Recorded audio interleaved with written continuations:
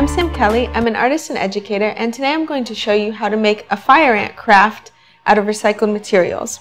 This preschool age bug project is quite simple. You just need hot glue or craft glue. You'll need um, a egg carton, three pieces of it still attached. You'll need a black marker, you'll need some scissors, you'll need two pipe cleaners cut in half, you'll need some red paint, and you'll also need a paintbrush. I have already painted my egg carton and I've also put a little bit of hot glue inside each little section just to let it cool a little bit. That makes it easier to have set these pipe cleaners. And I'm folding a pipe cleaner in half and then just kind of pressing it down into the hot glue. Again, craft glue would work great with this as well. Probably white glue would not be strong enough. So just keep that in mind. Press it down good, make sure it sticks.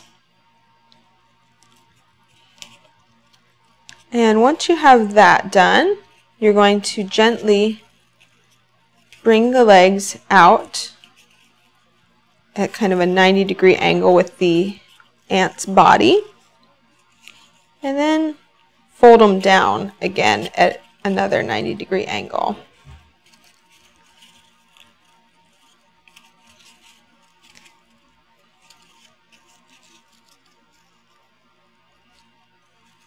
And if you want to, you can even fold it again to give them some little feet.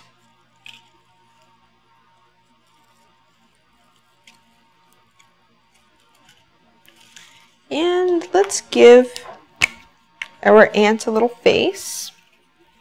I'm going to give him a smile.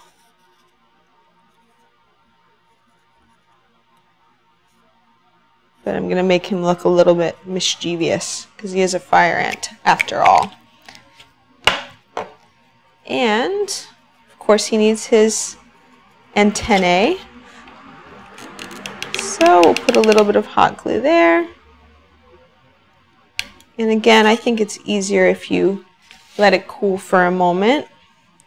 It'll be more willing to have this pipe cleaner stick in it. So you can fold these out, make nice little antenna of it, and press it down into place. If you're like me, you'll put your finger immediately right into the hot glue and press it down that way. But if you're safe and smart, you will sort of use the edges of it to press it down. Years of doing this have made my hands pretty strong and tough. And once it is totally dry, you have yourself a little fire ant.